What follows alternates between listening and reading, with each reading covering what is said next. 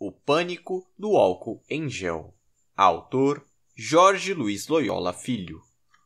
O economista britânico Lionel Robbins define a economia da seguinte forma: A economia é o estudo do uso de recursos escassos que têm usos alternativos.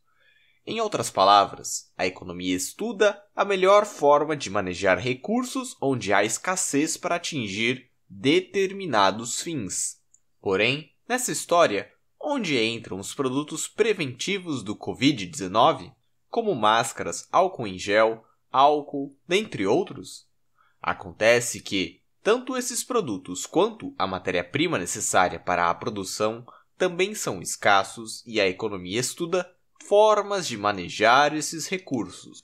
Após o início da pandemia do coronavírus, a demanda por esses produtos aumentou de forma acentuada.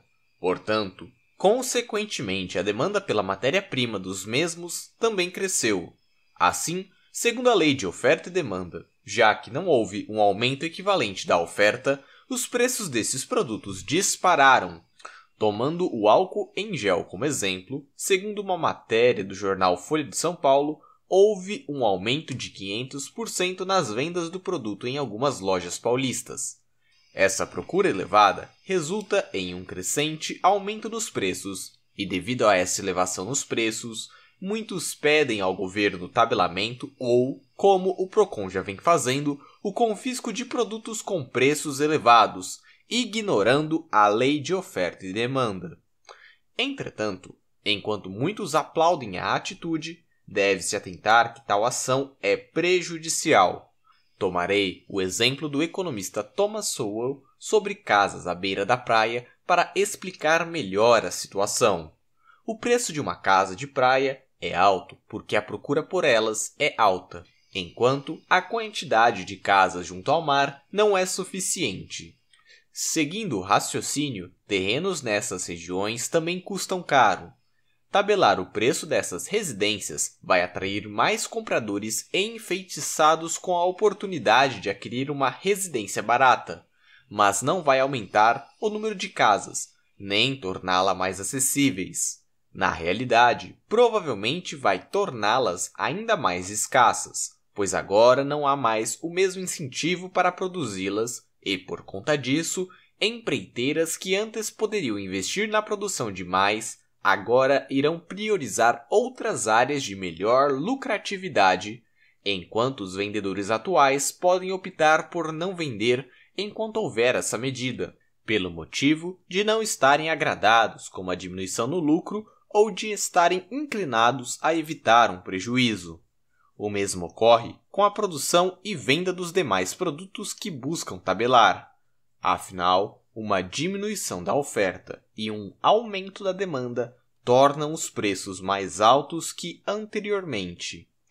Há uma preocupação com um aumento exagerado aos preços desses produtos no mercado.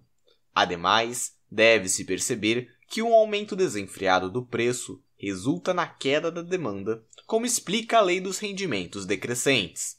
Tal lei diz que, numa combinação de fatores de produção, há uma combinação ideal, na qual um desvio implica em desperdício, o aumento nos preços do álcool em gel pode inclinar consumidores a optar por outros produtos, como por exemplo o próprio álcool, mas com outras concentrações ou sabonetes.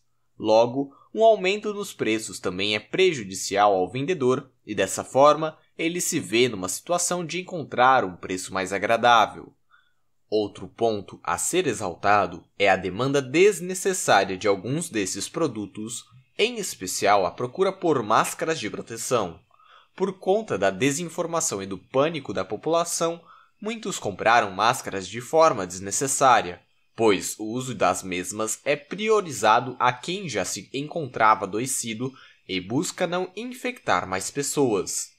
Os estoques dos supermercados também vêm sendo esgotados de forma irresponsável, e muitos vão às compras e compram além dos necessário, aumentando a demanda, subindo os preços e esgotando o estoque que poderia ser aproveitado por mais pessoas. Mas o que fazer quando empresas sobem os preços de forma exagerada, se aproveitando do pânico e privando pessoas com uma baixa renda de comprar o produto? Simples. Se a farmácia A cobra preço além do necessário, a farmácia B, concorrente de A, pode manter os preços num valor agradável. O consumidor ciente do preço mais barato vai optar pela compra na farmácia B. Mas e se as farmácias A e B decidirem montar um cartel e ambas aumentarem os preços de forma exorbitante? Num ambiente de livre concorrência, há muitas empresas que podem baixar os preços para concorrer com essas duas. Há dezenas, se não centenas de farmácias diferentes numa mesma cidade. Isso apesar de toda a burocracia necessária para se abrir uma farmácia no Brasil. Manter um cartel entre todas é praticamente impossível, e mesmo que venha a acontecer, uma empresa nova pode sempre aproveitar essa crescente demanda para empreender. A realidade é que se vem ignorando leis econômicas básicas na maioria das decisões arbitrárias tomadas pelo Estado, e a necessidade de entender economia se torna cada vez mais evidente. Fim da leitura, espero que você tenha gostado. Se deixou, deixe aquele like transcendental, faça aquele compartilhamento irrefutável e, se possível, apoie o canal porque isso é muito importante para eu poder continuar trabalhando aqui. O link do artigo vai estar no comentário fixado. Abraço, tchau!